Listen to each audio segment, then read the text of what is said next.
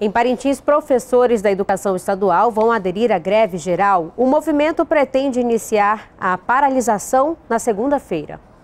E a Assembleia, que contou com a presença de professores, merendeiras e funcionários administrativos do setor da educação em Parintins, foi aprovado por unanimidade a paralisação geral dos professores da rede estadual de ensino em Parintins a partir da segunda-feira.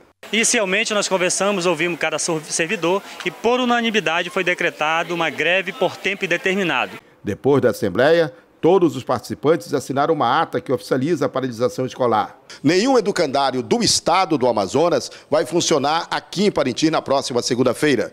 A professora Keila Nogueira disse quais são as estratégias do comando de greve para a mobilização da categoria. Então, estaremos em frente às escolas do Estado. Cada dia da semana, nós teremos duas escolas para fazer a nossa manifestação.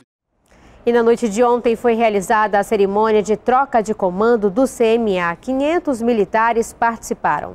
Depois de quase dois anos à frente do Comando Militar da Amazônia, o general Antônio Mioto, que esteve à frente de grandes operações na Tríplice Fronteira, se despediu da tropa para assumir o Comando Militar do Sul. Nossos pelotões, nossos hospitais, nossos médicos estão atuando em toda a fronteira. Lá em São Gabriel da Cachoeira, 90% da população é atendida pelo Hospital Militar, Tabatinga da mesma forma. Esse é o Exército Brasileiro. Quem assumiu o lugar dele foi o general César Augusto Nardi, ex-comandante da Escola Preparatória de Cadetes do Exército e conhecido por possuir vários cursos de aperfeiçoamento, como comandos e paraquedista. Depois que a tropa desfilou em continência a ele, o general falou dos desafios encontrados na Amazônia. Na Amazônia tudo é mais difícil pelas características da região, as dificuldades de acesso, de comunicações. Então, a simples manutenção da logística nas nossas unidades já é um grande desafio. A cerimônia durou mais de uma hora. O comandante do Exército, general Vilas Boas, que há um ano foi diagnosticado com uma doença neurológica, acompanhou tudo. E mesmo com dificuldades para falar, lembrou da vereadora Marielle, morta a tiros enquanto voltava para casa no Rio de Janeiro na última quarta-feira. Ela era relatora da comissão da intervenção militar.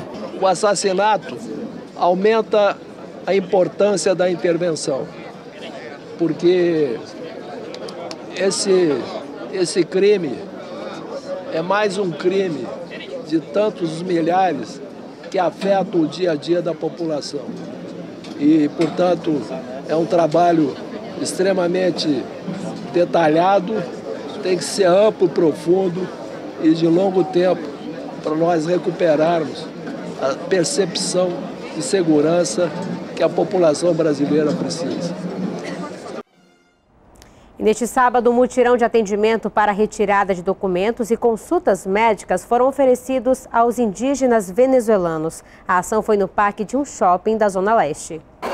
A família de Elias é da etnia Uaral. Em mãos o protocolo da Polícia Federal de solicitação de refúgio. Hoje eles vieram tirar os documentos para ficarem de vez aqui no Brasil, porque a situação está difícil na Venezuela. Em Venezuela, ahorita que está muito mal. Os filhos de 7, 5 anos e 8 meses também já passaram pela triagem na saúde e foram vacinados. A Leida disse que agora quer mesmo é trabalhar. Eu estou bem aqui, vou a Venezuela, não tenho nada, eu sou uma madre desempregada. Os serviços oferecidos no mutirão do PAC no Shopping São José são retirada de documentos e cadastro único, processo necessário para dar entrada nos programas do governo federal. Há um cronograma para isso. Na verdade, agora pela parte da manhã nós estamos atendendo os indígenas o Araus e aí na parte da tarde vão ser os venezuelanos e assim por consequência. Na verdade, isso vai se repetir ao longo dessa semana. Eles têm acesso ao CPF, eles têm acesso à, à carteira de trabalho, eles têm acesso à documentação de legalização junto à Polícia Federal, eles têm acesso à carteira de identidade, registro, né? Toda a documentação, que o CPF, toda a documentação que o brasileiro normalmente tem, eles poderão ter. Os venezuelanos também receberam atendimentos médicos, testes rápidos, medicamentos e vacinas. Nós estamos com todas as ações de saúde, desde atendimento médico, testagem para HIV, é, exame dermatológico, contra a tuberculose e também a vacinação aqui está presente. E também estamos colhendo sangue para ver se tem malária ou não. Só neste sábado, 158 indígenas venezuelanos foram atendidos. A ação faz parte de um trabalho em conjunto com os governos federal, estadual e municipal. Daqui a pouco, seleção brasileira sub-20 treina no estádio da Colina para amistoso aqui na capital. E mais, polícia procura o corpo de um homem na zona centro-sul de Manaus. Voltamos já.